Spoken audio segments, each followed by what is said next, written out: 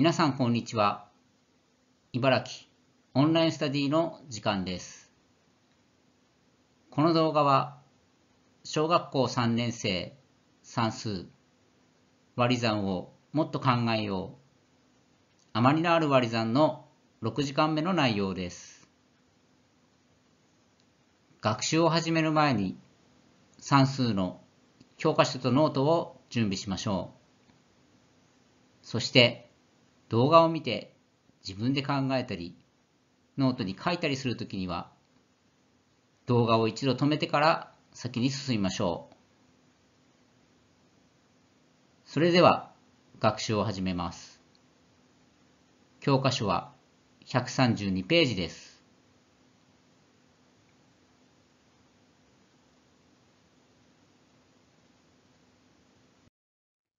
それでは問題2を読みましょ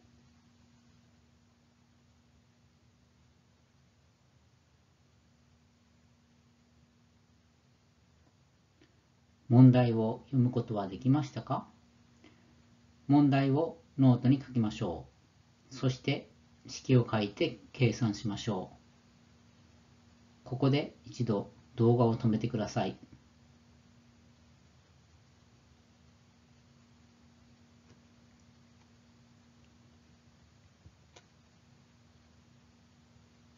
式と計算の答えは23割4は5余り3ですね。答えの5は何の数ですか？そうですね。花束の数ですね。余りの3は何の数ですか？そうですね。余ったバラの数ですね。では、花束はいくつできますか？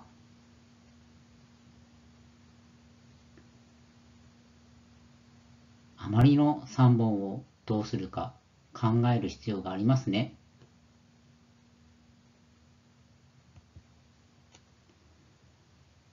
この時間の目当ては前の時間に続き余りをどのようにすればよいか考えましょうです。目当てをノートに書きましょう。では、一度動画を止めてください。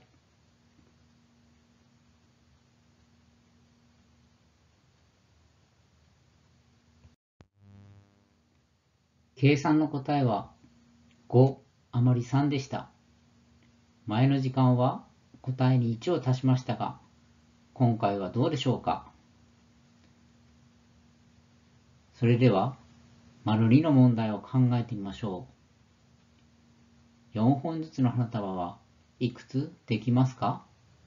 また、そのように考えたわけをノートに書きましょう。一度、ここで動画を止めて、丸2の問題をノートに書いてください。そして、答えとわけをノートに書きましょう。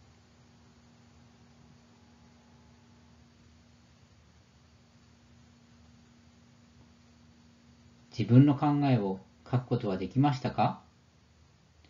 では、友達の考えを順番に見ていきましょう。まず、丸あの考え方です。答えは6つです。わけは、花が3本余っているから、5たす1は6で6つです。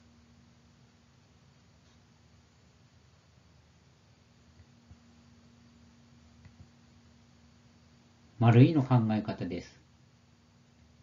答えは5つです。問題は4本ずつの花束はいくつだから余りの3本では花束ができないので5つです。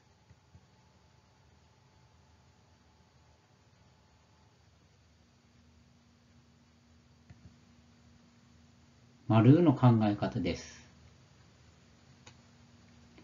図で考えました。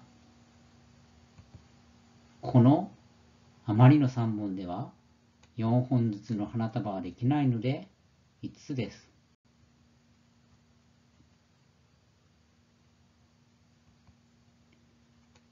自分の考えと同じ考えの人はいましたか？また、それぞれの考えを見て何か気づいたことはありますか？少し考えてみましょう。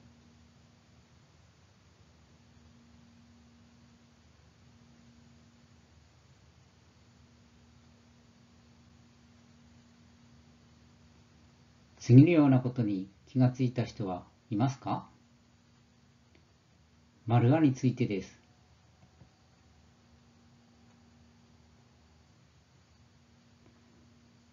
余った3本では4本の花束ができないから6つではないと思う。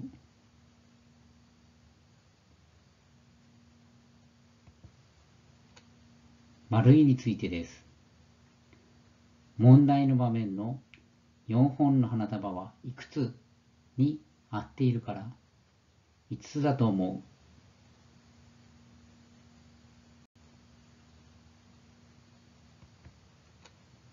丸についてです。図で考えていますが、丸いと丸いの考え方と同じだと思います。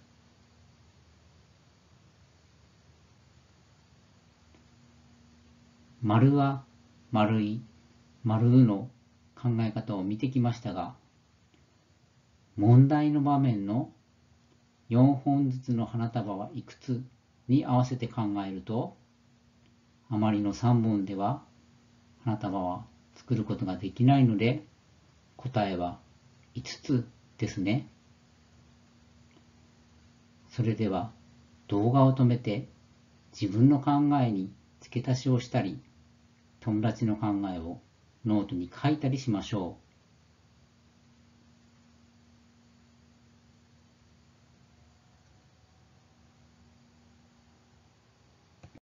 う。では、改めて答えの確認をしましょう。式は23割4は5余り3です。問題の場面に合わせて考えると、余った3本では4本ずつの花束は作れないので、答えは5つです。次に、この時間のまとめについて考えてみましょう。目当ては、余りをどのようにすればよいか考えましょうでした。ここで一度動画を止めて、割り算で余りが出たときは、に続く言葉を考えてみましょう。では、一度動画を止めてください。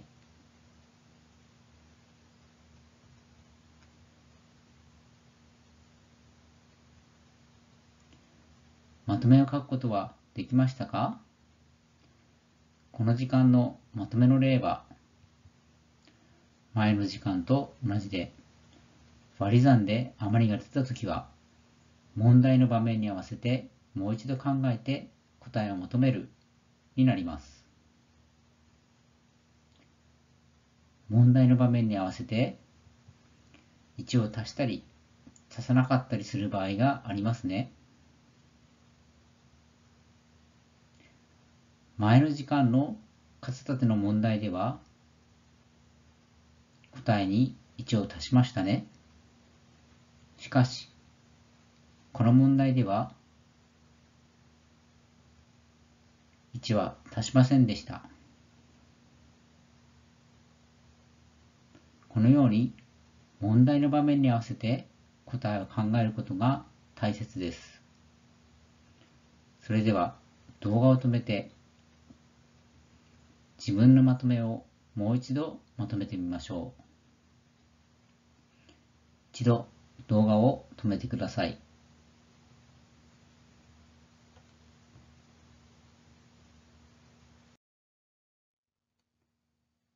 次に、教科書133ページの鉛筆3、鉛筆4の問題に取り組みましょう。一度動画を止めて、問題が解けたら動画を進めて答えを確認しましょ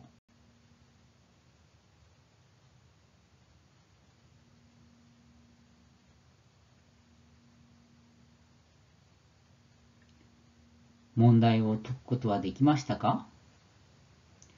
それでは、鉛筆さんの答えです。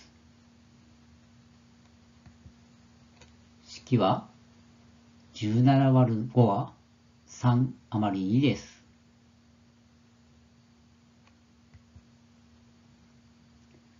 問題では、抽選券5枚で九条1回引くことができます。なので、余った2枚ではくじを引くことができないので、答えは3回です。鉛筆問題4の答えです。式は30割る4は7余り2です。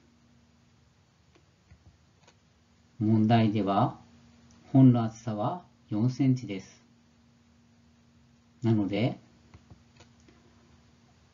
余った2センチの幅では4センチの本は立てられないので、答えは7冊です。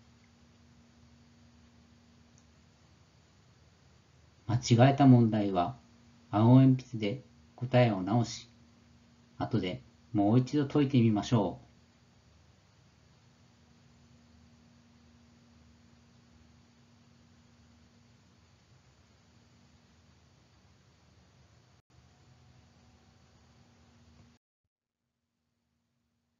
これで、この時間の学習は終わりです。